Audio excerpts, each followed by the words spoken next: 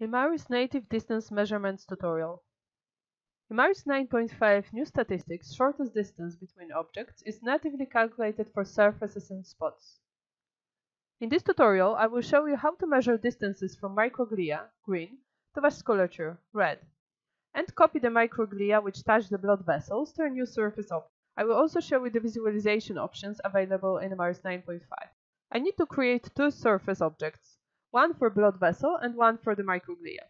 Add a new surface object from the list. The creation wizard opens in the left hand corner. Make sure that the shortest distance calculation box is checked. By default, it's checked for the first four objects within the image, so the calculation time does not unnecessarily increase with too many objects. If you don't need the distance statistics to be calculated, you need to uncheck the box.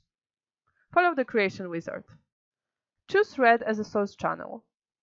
Check the Smooth option to set up the smoothness of the resulting surface object.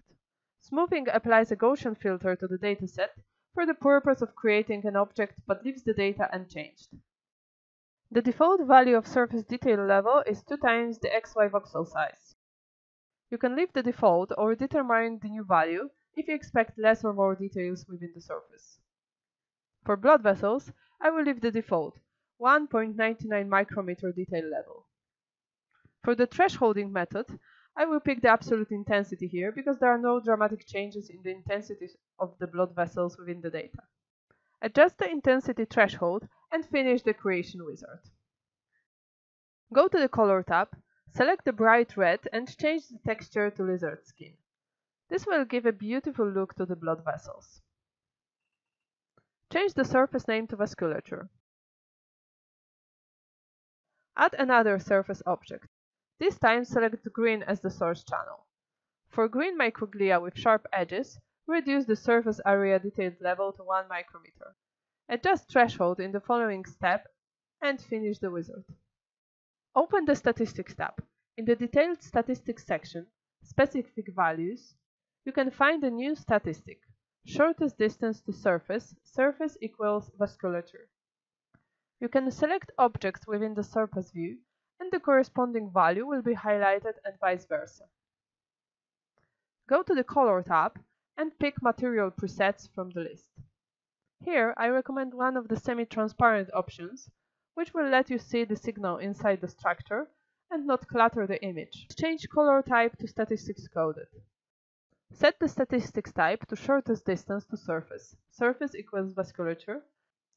Now let's select only the microglia which are touching the blood vessels and copy them to the new object. Go to the filter type and add a new filter shortest distance. Define the lower threshold as 0 and click right mouse click on the histogram to set the upper filter value. Also manually type in 0 in the box. Now duplicate selection as new surfaces. You can now visually analyze the relationships between various parameters of your microglia versus the distance from blood vessels.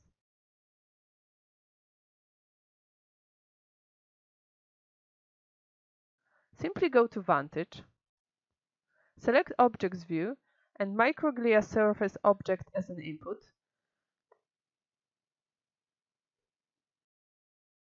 pick the scatter plot 2D and color, and set the axis parameters to x shortest distance to surface, surface equals vasculature, y volume,